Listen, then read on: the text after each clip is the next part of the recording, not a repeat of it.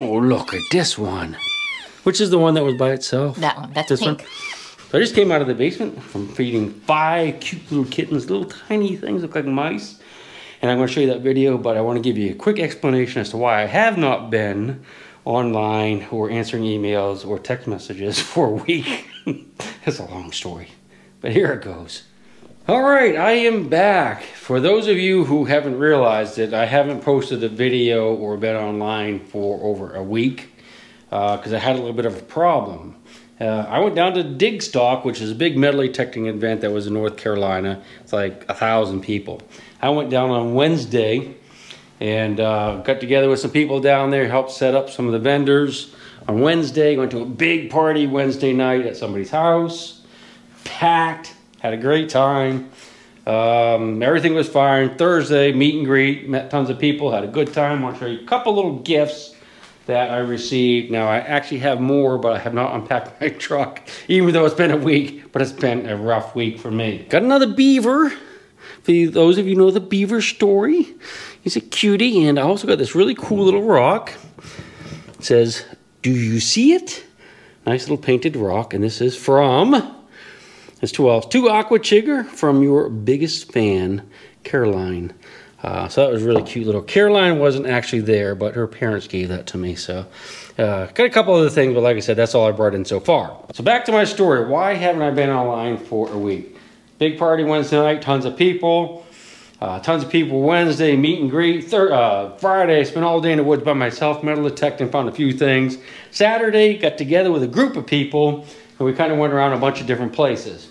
And that's when the trouble began on Saturday because by noontime I was feeling really peaked. Uh, nose was running. I figured I had seasonal allergies. I was like coughing twice every 15 seconds. And uh, you probably already figure out what's going on. My eyes felt like it had dust in them. And by like one o'clock in the afternoon, I was like sleeping in the pine straw, barely crawling. I get up, dig for a couple of minutes, sleep in the pine straw. Made it back to my truck. Uh, fell asleep in my truck for an hour. Headed back to the hotel around 3 in the afternoon. Fell asleep in the parking lot of the hotel for a couple hours. Woke up like at dark. I was freezing. Crawled up to my room. This is Friday. Yeah, this is Friday evening and uh, absolutely chilled to the bone. Cranked up the heat in the room. Popped the thermometer in my mouth, the same one I had when I was trying to test the beer that didn't work because it's a human thermometer. And um, I had a fever 103. I know it because I checked it to see. Yeah, so I had a fever 103. Hadn't had one of those uh, fever like that since I probably had chicken pox when I was seven. Uh, so I was really sick all uh, Friday night. I was really sick Saturday. I finally got a hold of someone Saturday afternoon. Said, "Dude, I'm not going to make it to the hunt." And they said, "Uh, you know, so I'm really sick. Something's wrong." And they said, well, yeah, um, a bunch of people that went to that party on Wednesday have COVID now. They were tested positive for it. So I figured that's what I had at that point. I had COVID. So I ended up spending all day Saturday uh, in bed. I spent all day, well, not all day Saturday, but you know, sat all day Saturday night in bed, all day Sunday in bed. Woke up Monday for checkout and beat feet home as fast as I could. Not really, but I just drove. I made it easily, you know, just driving and um, got home, self-isolated, took a COVID test, sure enough had COVID. Uh, I was really sick there for a couple of days. I only had a fever and extreme tiredness and extreme, uh, really dizzy, like vertigo. Um, those are the only symptoms I really had. But the tiredness, I just, I just couldn't get out of bed for days. I turned off my phone. I turned off my computers. I, hadn't been online um, except to uh, text my wife once or twice, but I, I, haven't answered any texts in many days, and I apologize to you guys. Um, for those of you who knew that I was sick and have been worried about me, if there's any of you out there, I'm going to find out pretty soon. Uh, but I know there's at least a couple of you. All right. What I forgot to tell you is uh, we're going to have a little treat now. We're going to go down in the basement, and we're going to see, I'm going to visit my wife. She's feeding five tiny little kittens that she brought home about a week ago that um, kind of a long story short someone brought in a tiny little kitten that was just born the rest of the litter they just found like these baby kittens the rest of them had frozen to death had one kitten So uh, so they didn't have a mother to go with it. So my wife called around to the local animal, you know, county animal uh, shelters, and she found a cat in Berkeley County Animal Shelter that was giving birth to other kittens. So she went over there and got that cat, brought it back to her animal rescue center, uh, so that this little kitten will have a mother and some siblings, and we don't have to bottle feed it every two hours for the next month. anyway, they're in the basement. Let's go look at them. You remember this kitty? That's a good kitty right there. Yes, yes. She bites my feet, though. When I get out of the shower, she just loves to bite my feet. All right, let's go down to the basement. Had a little, uh, look, there's, oh, there's, there's another beaver. we had a little accident in that the mother got out of the little uh, bathroom we have them in. We'll be in there in a second. And she got up into the ceiling here, which is a drop ceiling. So she's hiding up there right now. She keeps bringing the kittens up there. So we're trying to figure out a way to get her back down here with that kittens. But we got all the kittens right here now. Let's go see Miss Lindsay. See how she's doing. Oh, looky. How you doing, Miss Lindsay? Good. Oh, that's a cutie right there. What's his name, Bear? I just made that up. That thing's about the size of a bumblebee. It's a big bumblebee.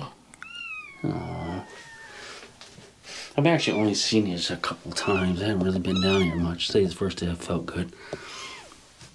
Oh, oh, look at this one. Which is the one that was by itself? That one. That's this pink. One?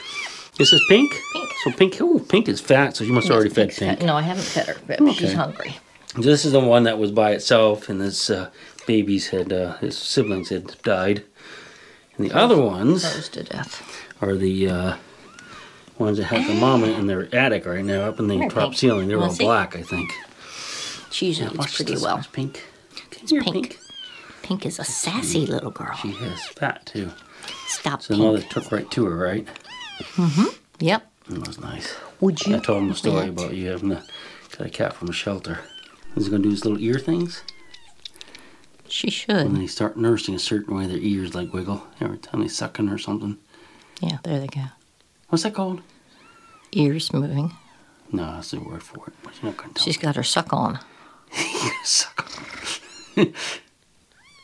and not really doing. Boy, she's a cutie. Look at her little tail. Oh, she's a cutie. You're the cutie. Anyway, the uh, what we did is we took this thing out of the drop panels. We're hoping that the mother will come over here. We've seen her right here before. We're hoping she's gonna jump down into this room and not be able to jump back up there. So we'll have her trapped in here. It's like a test today. We're doing that. So far she hasn't done that. We're hoping she does it tonight. But we'll have to feed them by hand like this until she uh, until we can get her back in here full time. I'm afraid that if we just let her come in the door, that she'll keep taking the kittens out and taking them in the you know up upstairs. We have to leave that open to drop because she's up there right now, so we can't like block it off right now. How's that cutie? Is that the one we're going to adopt? No. I'd adopt all of them. all right.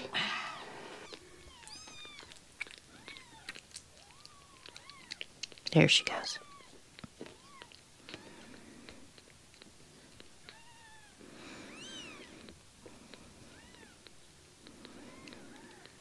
So uh, Blaze there is like a day older than the rest, or Mm, day and a half. day and a half. How much bigger she is already. So these still have their umbilical cords on. Oh yeah, look at that. Still attached. I know. They're black like her mother, aren't they? Yep. They're solid black all of Yep. Look like little little mice. so um, I used to raise mice when I was a kid. All different colors. All right, so um, yeah, that's it. Um, we're gonna cut the video off. I'm gonna go get it uploaded so you guys can watch it, and uh, I'm gonna try to answer as many uh, uh, of my uh, messages and stuff as I can right now. Gotta get started, I guess. We'll see you a little bit later. She'll take the coins from your pocket, take your gold chain and your locket. Mother Earth has no sympathy. She'll take the ring from your hand and bury it in the sand and keep it for eternity. Mother Earth, she's got her secrets.